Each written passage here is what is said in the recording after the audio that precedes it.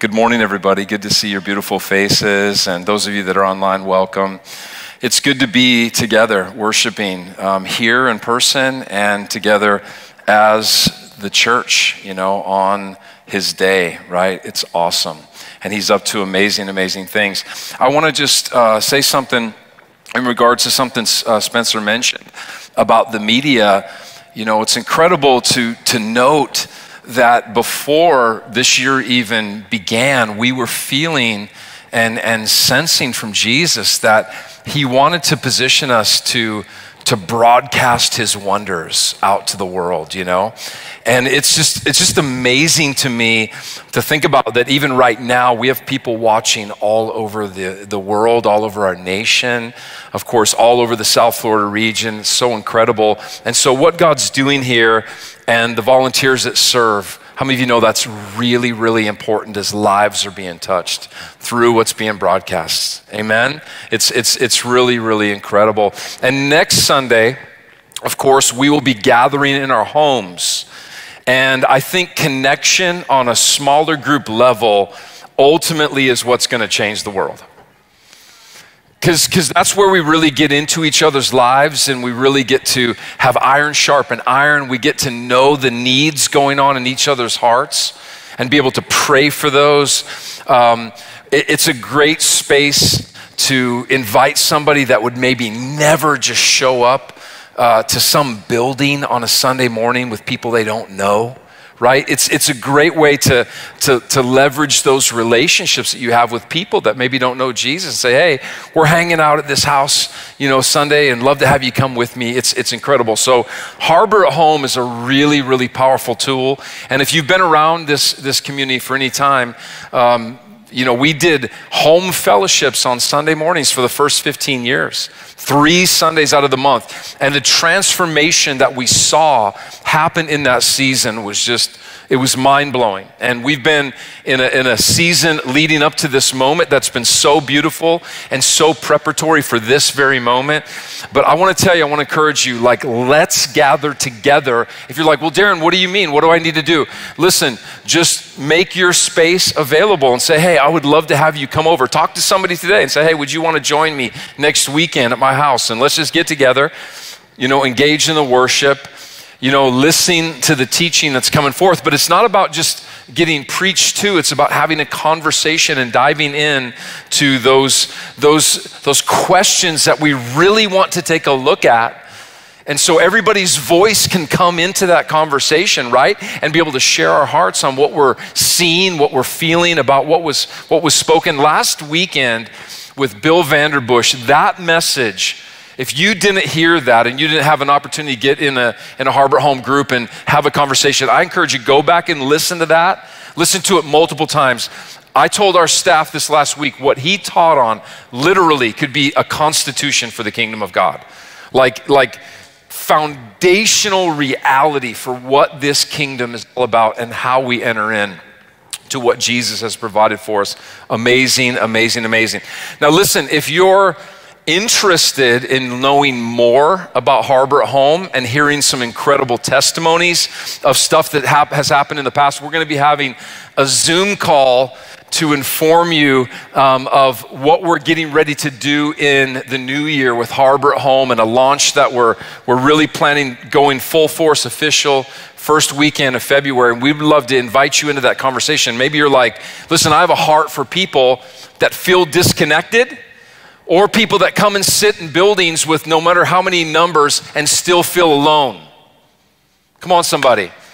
That's, that's the reality right now. And listen, all that's been going on in our culture and in our nation since March, it's just been continually polarizing people, isolating people, right? And God wants us to come together. He wants us to come together. In fact, in Hebrews, he said, Don't forsake the assembling of yourselves, large and small gatherings, as some have grown accustomed to doing. How many of you know that that's, there's, there's something at work here that's bigger than what we see going on that's trying to get people accustomed to being disconnected? And so it's important for us to fight for this, to fight for people that, that are out there that feel alone, feel by themselves. Come on. And just a simple ask hey, I would love to get together with you. I would love to hear how you're doing. I would love to spend some time. How many of you know that that's what Jesus did? That's what he would want us to do in this time. Amen? So enjoy and, and, and, and dive in next Sunday as we experience Harbour at home. It's going to be awesome. Listen, I want to I want to jump into the word, but I want to I want to set a context for what I'm getting ready to say and why I'm going to say what I'm what I'm fixing to share with you. But before I do that, I want to tell you this is a significant Sunday in the history of our region. And the reason is is that with what God has been doing in the lives of leaders for the past three to five years in this region, something profound is going on in South Florida that I've never seen in the 20 plus years that I've been here. It is unbelievable what God is doing in the hearts of those leaders that say, Jesus, I want you. Just give invitation to the Lord and say, I want you, He is coming and visiting people in a across denominational lines in a profound way.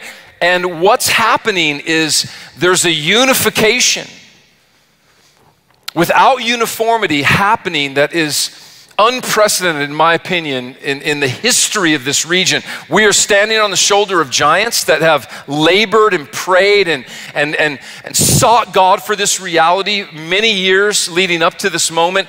But right now, we're living in this moment. You got to catch this because when you have a window that's open and now you're seeing, oh my gosh, for years and years and years, this has been prayed, and now we're in this moment, man, it's time to move. It's not time to just sit back and just kind of laissez faire, like wait for whatever is, is busy happening just to happen. No, we jump in to what God is doing. And today we're starting uh, a regional, actually, it's now spread into five counties, all three Miami Dade, Palm Beach, um, Broward, of course, but now it's gone up the Treasure Coast, five counties of hundreds and hundreds and hundreds and hundreds and hundreds of pastors are preaching one with one voice, one sermon series for the entirety of this month of November. Come on. And it's titled Undivided We Go Together. Undivided, we go together. That's why you got to hear Bill's Vanderbush's message from last week, the, our union in Christ, if you don't understand that we are one in Him, we are undivided, we are moving forward. So today I get to launch that and uh, here at the harbor, and I'm honored, I'm honored to get to share with you. And I'm going to be talking about Jacob's ladder. We're going to take a look at the life of Jacob and his experience and how that is relevant I believe to our unity, and I believe this moment. I believe this moment. I heard there's an election happening Tuesday. Anybody hear about that? I appreciate, you know, zealous people. You know, I, actually am drawn to fringe people, like fringe on whatever side, like those radicals that are just so zealous about whatever. Like, I mean, on another topic, I mean, I'll meet like new agers and stuff that are just so passionate about spiritual things, but know nothing about Jesus. And I have this dream in my heart. I'm like, I, and I say this to the Lord, I'm like, those kind of people could make the best Christians. You know what I mean? Because at least they're passionate about something, you know? And if that passion is redirected and put into the right pathway, you could really see some some, some life change personally for them, and then they having an impact and change and transformation on the world around them, right? There's a quote that I was looking at this, this last week. It said, um, As you climb the ladder of success, be sure it's leaning against the right building. Because could you imagine like giving your passion? I mean, everything that you have for the entirety of your life, and at the end find out that really it was like going towards the, the, the wrong thing that actually really didn't mean anything at the end of the day? Could you imagine? So, at the beginning of this year, just as I'm setting the stage for what I want to talk to you about, I had, a, I had an experience with Jesus. I really did, like a for real, legit encounter with God that I don't have all the time, like this. And it had to do, you've been hearing about it, with getting back to the basics. Because pre COVID, God said there's a shaking that's coming, and everything that can be shaken will be shaken. And I was laying in a hospital bed, not doing too well for myself at the moment. I was like, Lord, that's the last thing I want to hear. I was looking it through like a woe is me lens. And He's like, Darren, listen, you're not getting the point here. If everything that can be shaken will be shaken, and that which remains is of me, that means at the end of the day, those that will let go of everything that's not eternal, not really important, to grab a hold of what is, they will get me. Okay, now that may that may just have went by you, but just let me ask you a question. If we as the church don't get Jesus, then what is the point? What does all of this mean if we're holding on to all these things, we're feeling all unstable about whatever is going on in the world? And maybe we're experiencing that because we're not holding on to stuff that can't be shaken, that will not be shaken, that cannot be shaken, that will never be shaken, and putting our energy and our attention and our focus into those three things which I've come to discover is faith, it's the gospel. It's hope, it's that his promises are true and they will be fulfilled in our lives no matter what little voice you hear in your ear.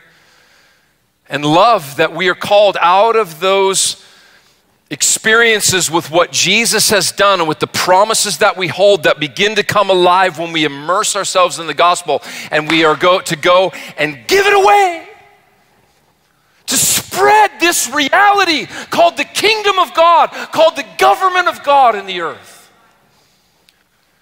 And He wants our passion and our desire and the ladder that we're climbing to be against that reality, first and foremost. So, Jacob's ladder.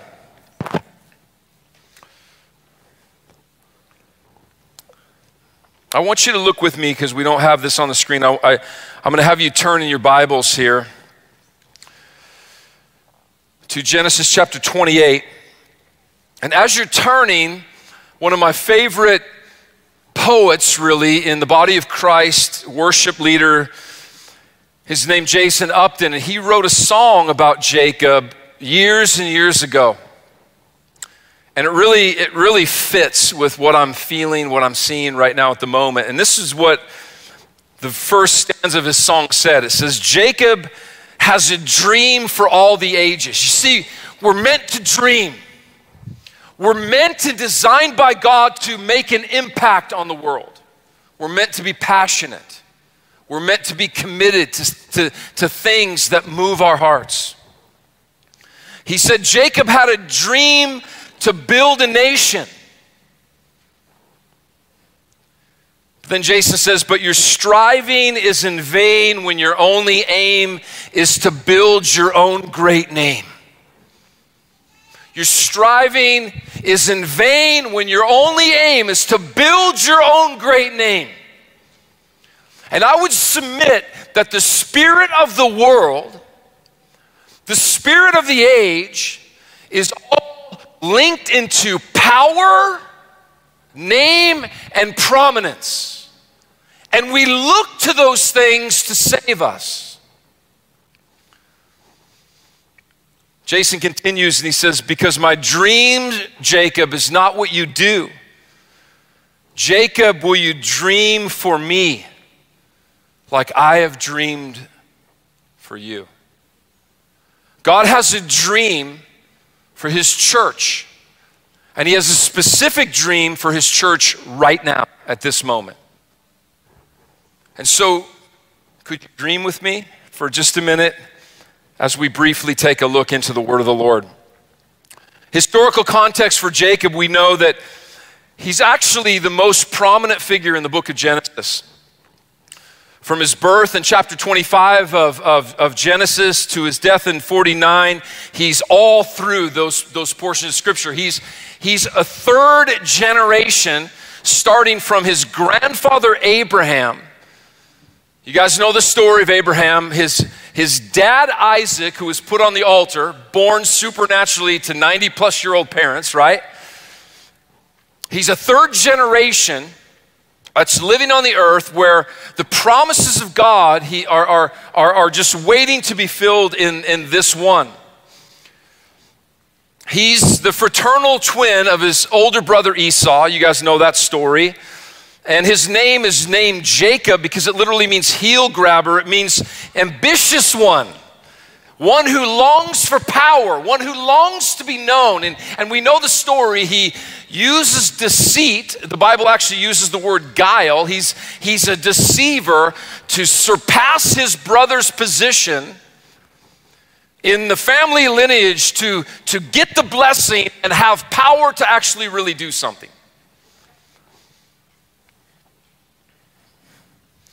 But he has this encounter with God at this place that he named Bethel, which means the house of God, that surely God is in this place. And his name is changed to Israel.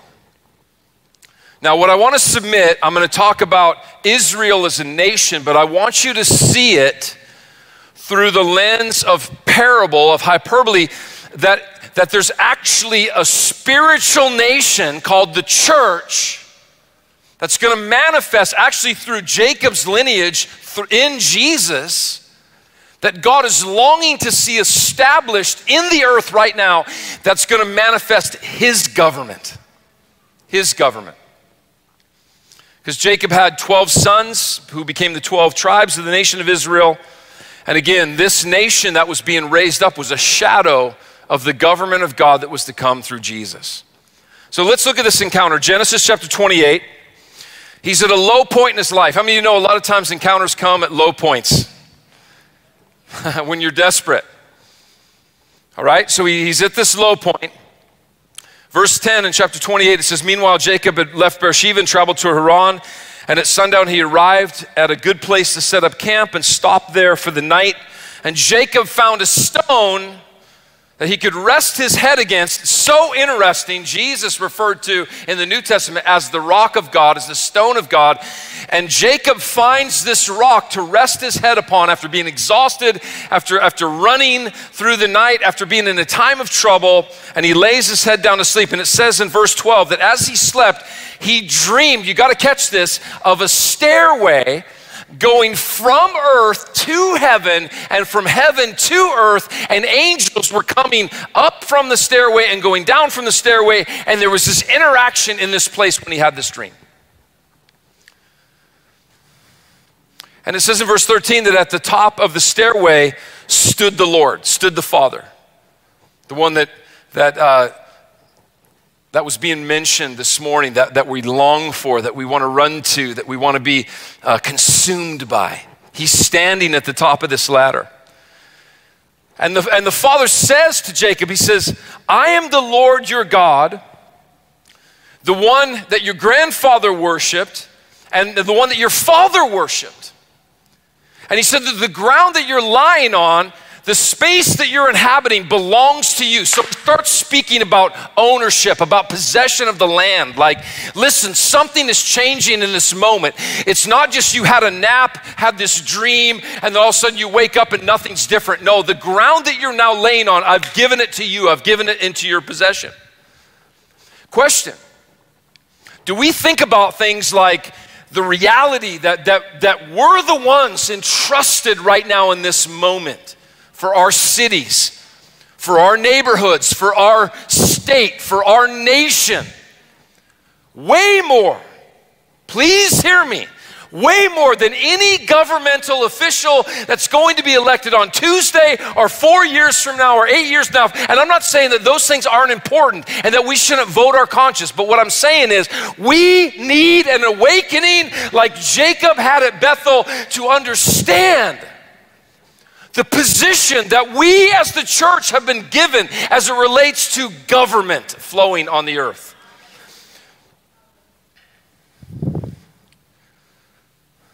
He said, Your descendants, here's what he said, will be as numerous as the dust of the earth, which we are a part of that reality right now. And they will spread out in all directions. And all the families of the earth will be blessed because of you and your descendants. Okay. That goes for injustice. That goes for brokenness in culture. That goes for racism. That goes for you fill in the blank of anything that ills our society and our culture. The remedy for those realities will flow through his people across the globe by the power of the Holy Spirit. So Jacob gets up and he takes that pillow where he was asleep and he turns it, that rock, and he turns it upright and he makes a pillar. You got to check this out. You read it in verse 18 of chapter 28. He turns the pillow into a pillar. This is important. At some point, the church has to wake up and turn their pillow into a pillar. What is a pillar? I wrote this down. A pillar is a fundamental support for a superstructure. Go look it up in the dictionary. It's a fundamental support for a superstructure.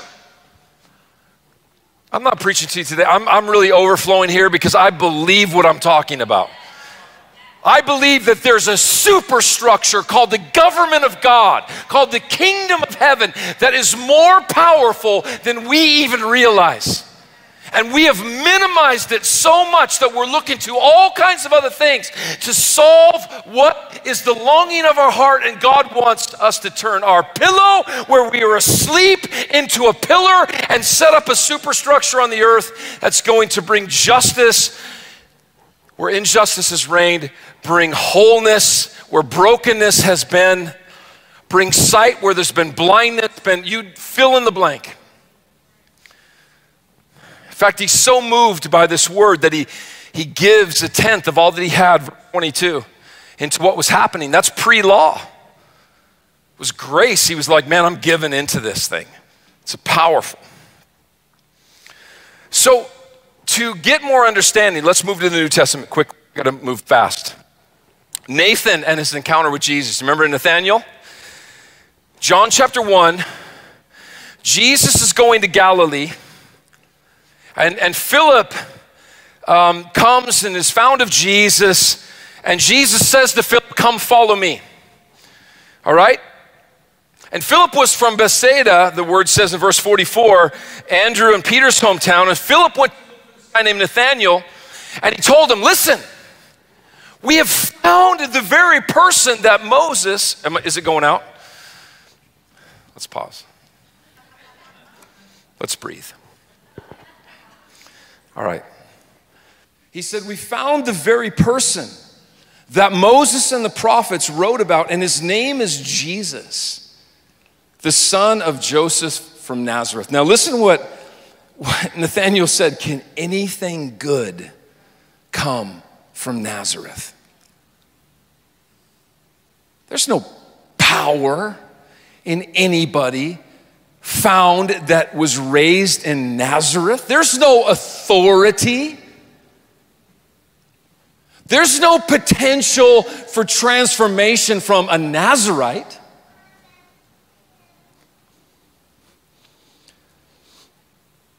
He said, Come and see for yourself. And when he showed up, Jesus says to Nathanael, This is crazy. He said, Here's a genuine son of Israel a man of in complete integrity. In other words, that, that literally means no guile, no deceit. Wait a minute. I mean, this guy's not even supporting Jesus. He doesn't think he has any power or authority. He's actually vocalized that with his, with his own words. And Jesus prophesies over him here's a son of this nation that I'm gonna raise up, who's gonna be a part of the government that's gonna be released on the earth. And there's no deceit found in him. Nathanael asked Jesus, How did you know about me? And Jesus said, I could see you under the fig tree before Philip found you. Now imagine, because he was sitting under this fig tree. Imagine he comes to Jesus, doesn't think he's powerful, doesn't think he has any influence, asks him how he knew about him and, and, called him this, this, this son of Israel, this one who there was no deceit found in him. He's like, How did you know about me? And he said, Before Philip found you, I saw you sitting under the fig tree. Boom. He's like, Oh my gosh. Because he was, he was sitting under a fig tree. Fig tree, Darren, where are you going with this? I'm, I'm wrapping this up. You got to catch me. Don't lose, don't lose sight here. It's really important what you hear, what you hear from here on out. You see, fig trees represented the nation of Israel in the natural. You remember when Jesus cursed the fig tree? The reason he cursed it was because it wasn't bearing any fruit. But there was a new nation that was rising up, and it was going to rise up in one like this man named Nathaniel. The cursing of the fig tree occurs four days before Jesus' crucifixion. The story is, is placed right next to and intentionally to the story of, of Jesus overturning the tables in the temple. You remember that? Because you see, they had deceit, they, had, they were corrupt, everything was broken in that system. The money had just come into the temple and it made this place a den of thieves, and there was no more power, there was no more authority. They knew the right words to say, but they didn't have their hearts in the right place. Listen, God, listen, please hear me. God will shake everything in every single person's life that says they know Jesus right down to the place where everything that man we've held on to, that we thought had value and didn't, goes.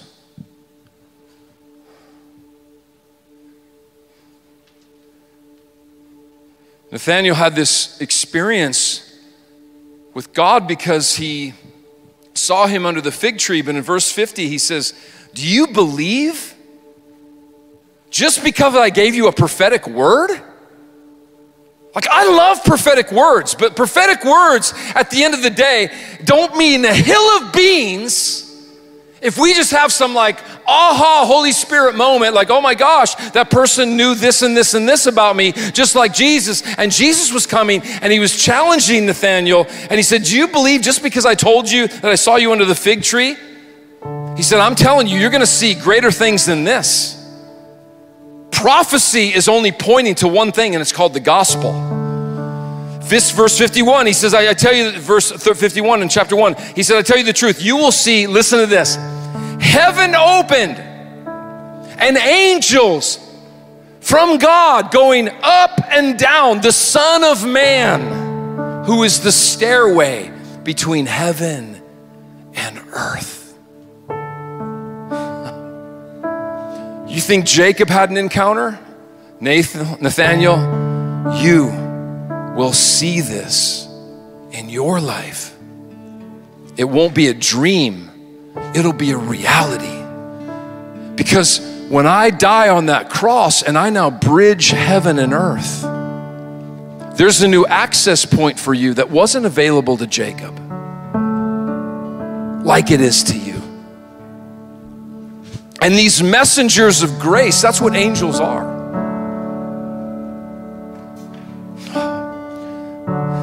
Think of it this way there's divine infusion of something un- otherworldly on the inside of you that you're like, how did this get here? What is this? This is different. This is bigger than just going to church. This is bigger than just reading my Bible and praying a little bit every day because I feel like I have to. No, there's a reality that you understand that, that the, the bridge between heaven and earth that was cut off has now been brought into reality through this one named the Son of God. Oh.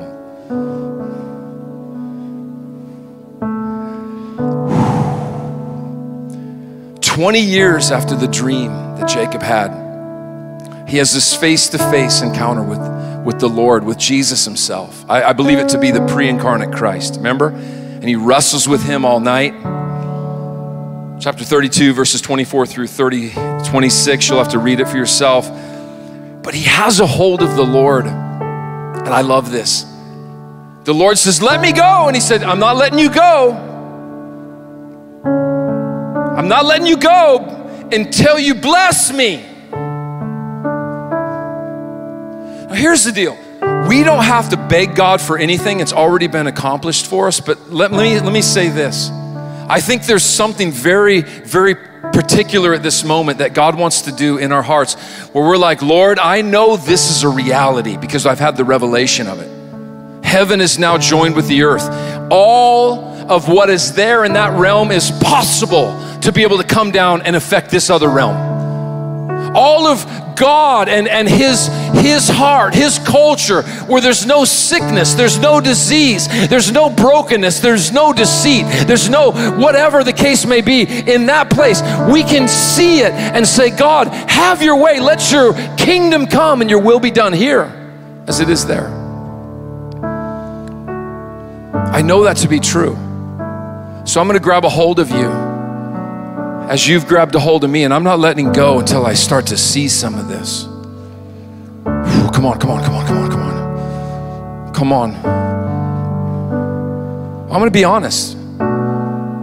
Whatever happens on Tuesday is not going to affect my, I'm, not, I'm just, hear me, I'm, it's not going to affect me in the way that it's going to affect some other people, whichever way it goes. Because I've seen something that's bigger than all of that. And I, I, I have this understanding in my heart that I've, I've got a hold of this one and he's got a hold of me. And I'm not letting go because he's not letting go of me until we start to see some of the things that we see, if you will, right? His, his hip is dislocated and his name is changed. He walked with a limp the rest of his life. You know, brokenness is okay. In fact, brokenness is better than okay because when you've been humbled, when you just are like, man, outside of God touching me, like there's nothing I could really do in my own strength. When you've gone through a fire and you've made it to the other side by the grace of God, you've got something to say now. You're not just an echo in the earth, you're a voice. You have authority. You have, you have something real to bring when you've been through a trial, when you've gone through brokenness in a relationship or, or with, with a situation or whatever the case may be. God is coming and filling your weakness with His power. He's actually perfecting it. What's amazing is the fruit that we see in Jacob. And this is just, this is a foreshadowing of what we're to walk through his brother who hated him and was trying to kill him, and that Jacob tried to usurp and did usurp his position. When he sees Jacob 20 years after the dream, he says, When I look at you now, it's like seeing the face of God. Could you imagine like looking at your enemy? Or looking at the one that you ripped off or looking at the one who you trampled over to try to get ahead and later go, man, now when I see you, it's like I see the face of God.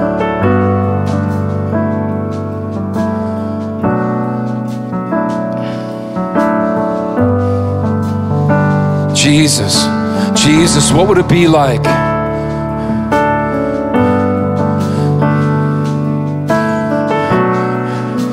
A person who had an opinion, a perception, a bias towards someone of a different nationality or a different color, had an encounter with you that when they now saw that person, they were like seeing, as it says here with Jacob, it was like they were seeing now the face of God. Value. Lord, what if, what if chauvinist men who, who looked at women through a degrading lens their whole life as nothing but objects, had an encounter with you. And now, when they saw a female, it was like they were seeing the face of God. Lord, there's lots of illustrations that I could bring up, but I'm asking you, God, today before your throne, that God, we would have an encounter with you in such a profound way that, Lord, when we see even our worst enemy, that it would be like seeing the face of God.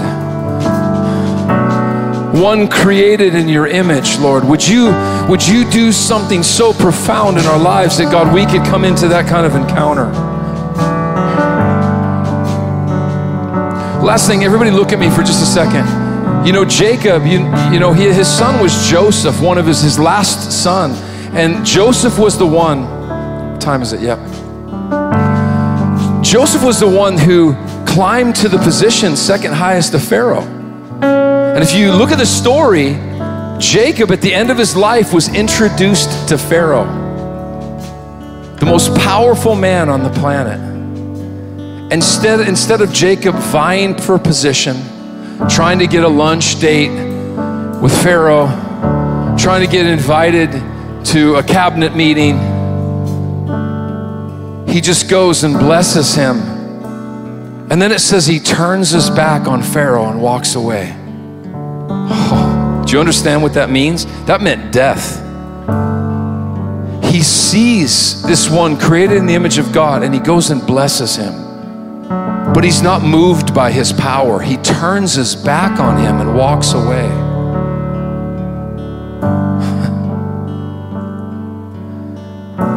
I believe as he turned, he was seeing another one seated on the throne of all authority. This one that had met him in that place. Last thing, because you got to catch this. Do you remember when Bill said this? He, he was talking about Jesus being on that throne of authority. Talk about government, talk about rule. And no one could open this scroll but then they start calling out, Jesus can do it. The Lamb who was slain, that has overcome all things, that, that, that rose up out of death, hell, and the grave, he can open it up. But here's what we miss not only has Jesus come into your heart, but more importantly, you've come into his. It's both. He resides in you, but now you're consumed in him. It's like that living water has been put on the inside of you, but now you've been thrown into the ocean of His love called Christ, the risen one.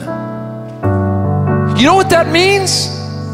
That means now you here on the earth, you here in South Florida, you're connected to where He is because not only is He in you, but you're in Him. And where is He right now? He's reigning on a throne over all things and you're seated with him there. You're not next to him, you're inside of him.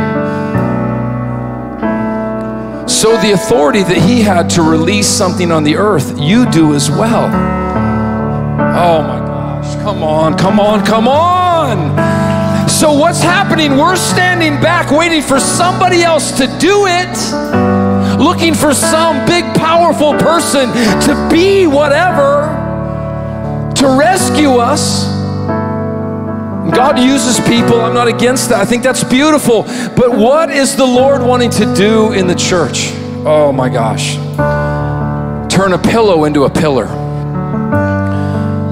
Turn a pillow into a pillar. Turn slumber into empowerment. Turn just dreams into reality. Could you stand with me all over this place? Come on.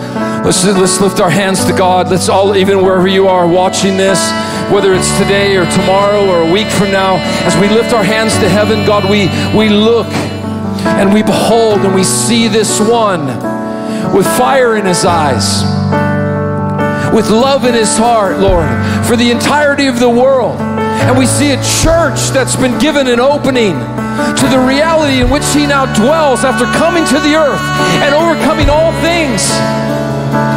And God, this one lives inside of us and we live inside of him. And we're at a moment in human history, God, like no other. Like no other, God, would you wake us up?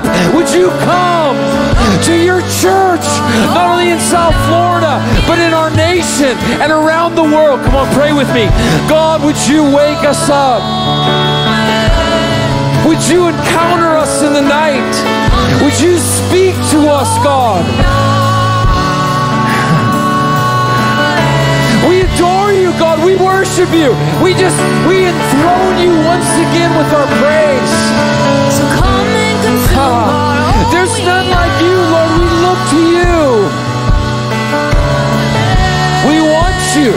Come on, say that. We want you, God. We want you to. Come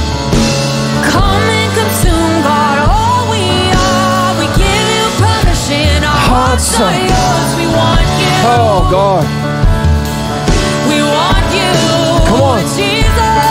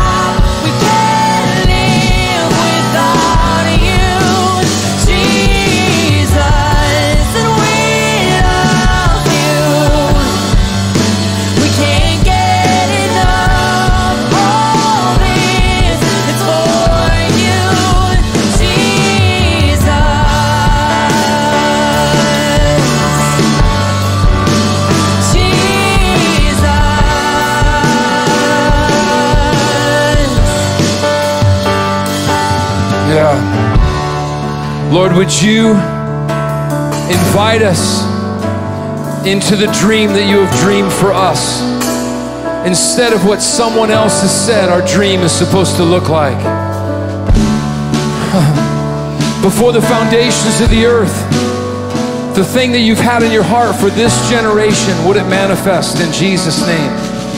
The thing that you have in your heart for the church, I'm not talking about some building or some service on a Sunday. I'm talking about your bride, which is people. Those that have been encountered by the love of God.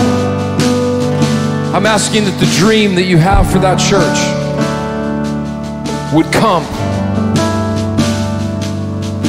In fact, I agree with that reality right now over our city, over our nation. And Lord, I put my trust, I put my hope, I put the surety of my future in that ladder, that one upon whom angels ascend and descend from heaven to the earth, Jesus Christ.